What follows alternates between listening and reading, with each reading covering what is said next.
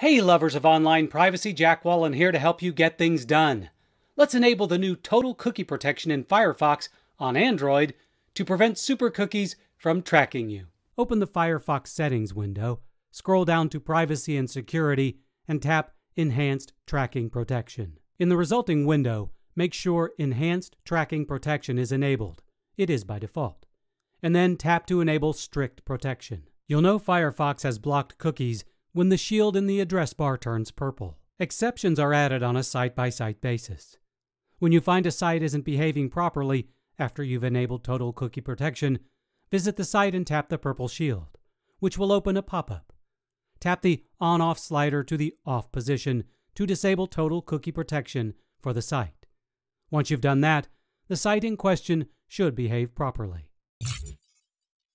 If you want to learn more in the ways of everything tech, be sure to subscribe to our TechRepublic YouTube channel and watch more how-to videos at How to Make Tech Work.